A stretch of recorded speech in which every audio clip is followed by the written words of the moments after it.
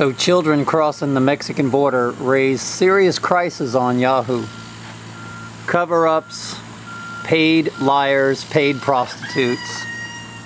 There's your real virus killer, immune deficiency killer, eugenics, Mr. Rockefeller, oil companies, poisoning the people of the planet.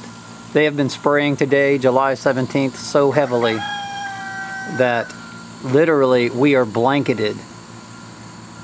And if you do get the flu and you get a virus, there it is right there.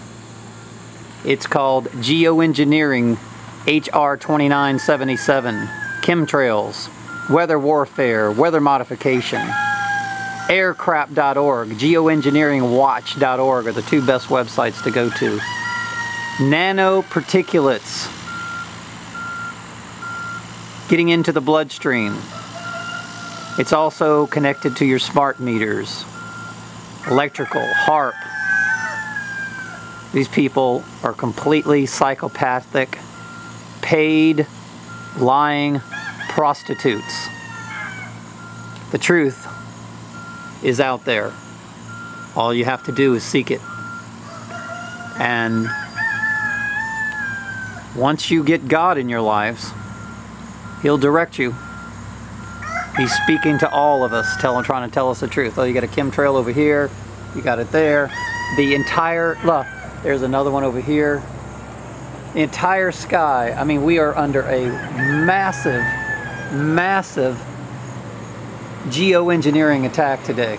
Massive, one of the worst I've seen. There's a trail there, there's a trail there. There's a new plane flying there. Unbelievable.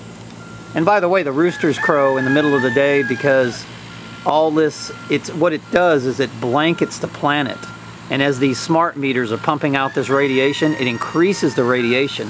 So therefore the cryptochromes in their behind their eye, that protein that makes them crow in the morning, they're crowing all day long. And the birds are all confused. The fish are all confused. The whales don't sing anymore, kind of like on Star Trek. Anyway, God bless.